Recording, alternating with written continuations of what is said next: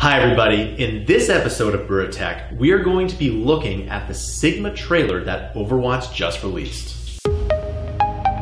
Alright, welcome back. So make sure that you like and subscribe, and if you really like this video, please share it. Today's featured course is how to build a Battle Royale in Unity and Blender. Build a complete Battle Royale from scratch in Unity and Blender. The links are below, and remember that every single dollar that we get from our courses that you buy below goes into producing more content.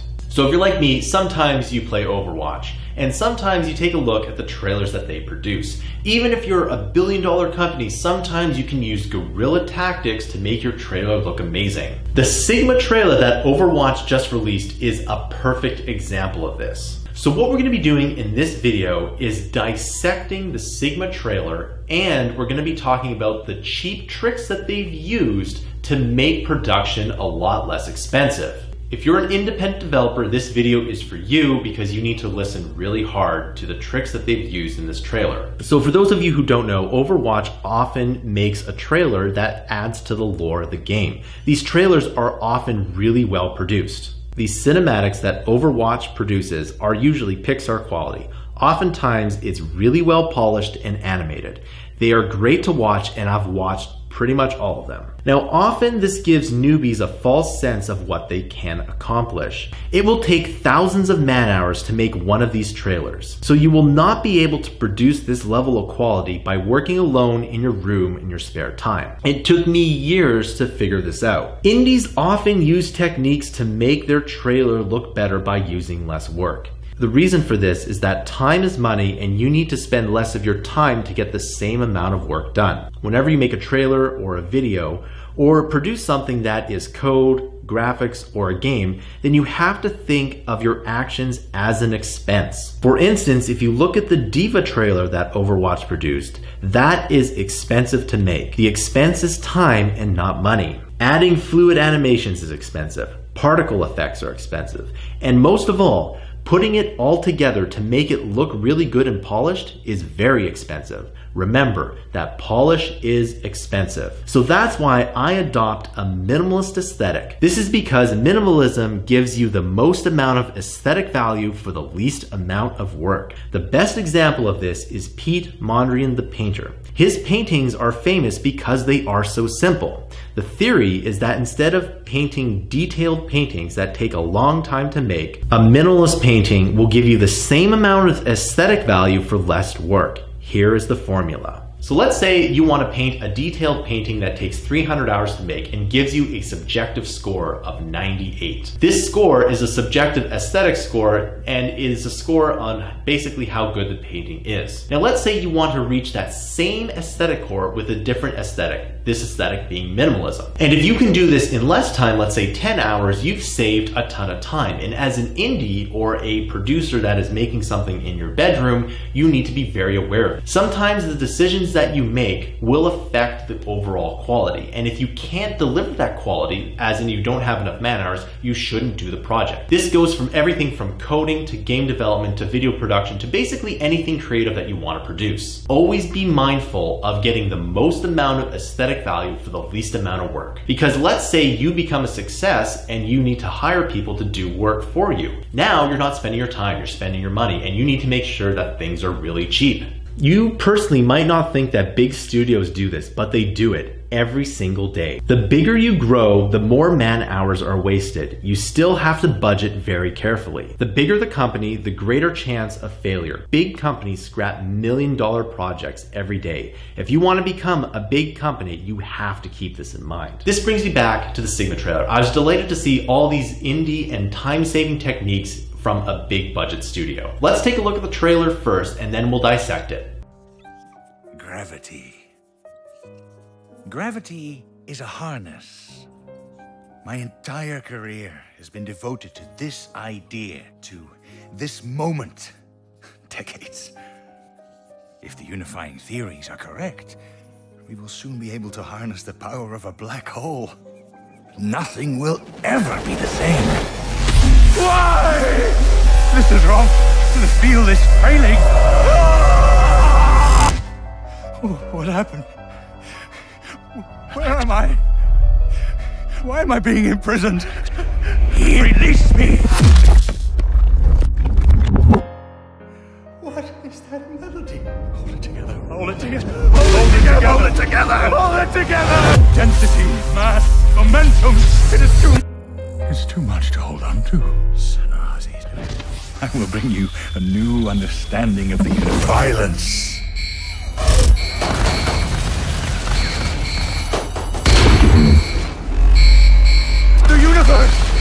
Singing to me!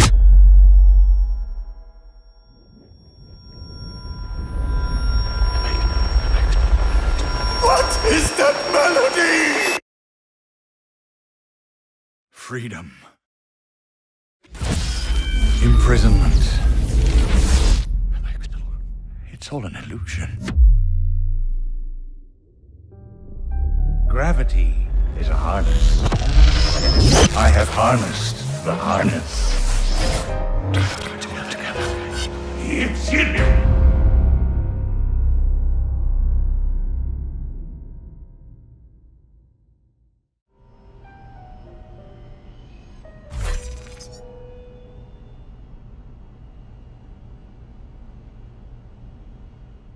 So the first thing to note in this trailer is that there's very little traditional animation in it. Most of the frames in this trailer are still frames and all the animation is done in computers. What I mean by this is that the frames that are drawn are not traditionally drawn animation. Think of an old school Disney movie where someone had to painstakingly hand draw each animation. It's cheaper to take a static image and do some animation or do some work in a computer program like After Effects. This will save you a ton of time. And if you look at this entire trailer, there's not a lot of animation, if any animation at all. When the black hole appears, you'll notice that this is different because there's a particle effect. We'll talk more about the black hole later, but essentially it is a pre-rendered animation. In the next scene, Sigma's on a hospital bed and there's almost no animation. The voice actor is doing most of the work to drive this trailer forward. Remember that making a trailer is not about the specifics of animation, it's the specifics of getting the most amount of aesthetic value for the least amount of work. Another thing to consider is that there's many more people that know how to draw with paper and pencil than know how to 3D model in a program like 3ds Max, Maya, or Blender.